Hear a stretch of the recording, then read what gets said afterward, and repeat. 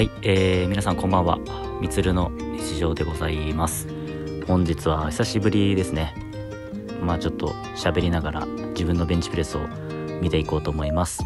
えー、この日はですね、朝、えー、ナローのベンチプレスで最近始めた、えー、グエンプログラムという、えー、週に3回以上かな最低ベンチプレスをするプログラムを、え、スタートしましたでこのプログラムはアップ2セットやってその後に今、えー、これ2セット目になるんですけど、えー、ここからピラミッド方式で、えー、トップまで持っていって合計8セット行うような感じのトレーニングです。でさっき1セット目が87.5で5回、えー、次に、2セット目が95キロで、え3回狙いだったんですけどちょっと重たくて2回でやめました。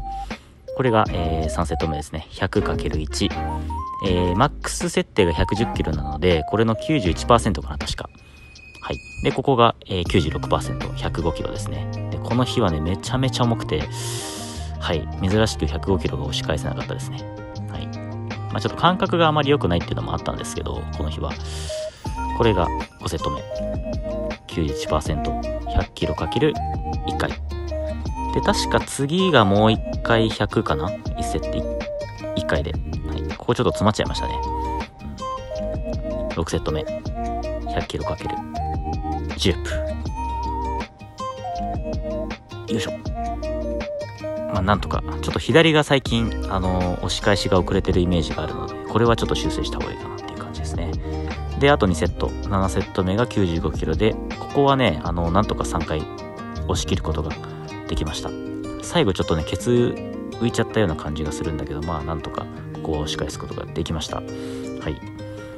まあ、あのちょっと前にこの手幅ナローの手幅で110キロねあの少しケツ浮いちゃったんですけど押し切ることができてそこからちょっと感覚がいいのであのしばらくねナローでやってるんですけど、えー、この日の夜かな？夜あの新しいねあのリストラップが届いたので手首に巻くやつなんですけどこれでちょっと1レップずつあの重さ持ってみました。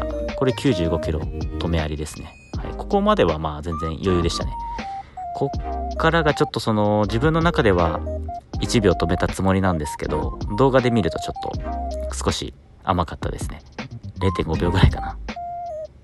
気持ち止めありっていう感じですね。はい。多分この動画の前の動画で2月11日の、えー、パワーリフティングの大会に出るっていう風にちょっとお伝えしたので、それに向けてね、えー、あと2週間ぐらいなので、ちょっとそこの練習も兼ねて、えー、夜はちょっと一発の止めありだけ大会を想定してやりました。うん。ちょっと止めが甘い感じはしますがまあこれはこれでいいでしょう。はい。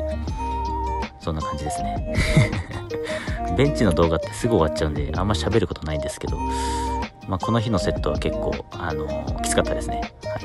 まあ、こんな感じで、まあ、大会も2週間後にあるので、ベンチだけじゃないですけど、スクワットもデッドリフトも頑張っていきたいと思います。ありがとうございました。